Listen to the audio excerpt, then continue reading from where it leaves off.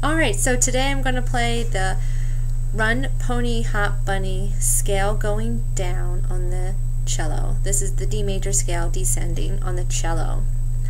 Let me lower the camera so you can see my left hand and my bow.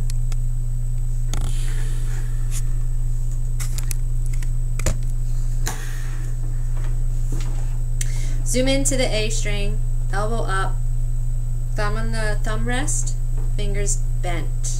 Remember we're making like a C shape with our hand. Ready, go.